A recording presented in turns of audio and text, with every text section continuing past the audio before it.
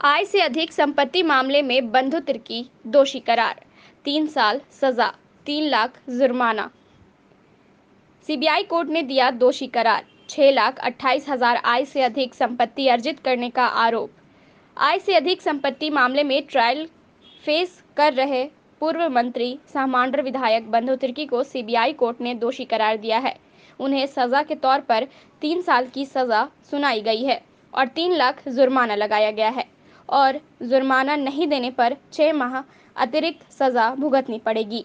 आय से अधिक संपत्ति मामले में रांची सीबीआई कोर्ट ने आज फैसला सुनाया। विधायक बंधु तिर्की को तीन साल सजा सुनाई गई है। ऐसे में उनकी विधायकी की सदस्यता हाथों से जा सकती है। बंधु तिर्की द्वारा की जा रही बहस पूरी होने के बाद बीते 16 मार्च को कोर्ट ने फैसला सुरक्षित रख लिया था।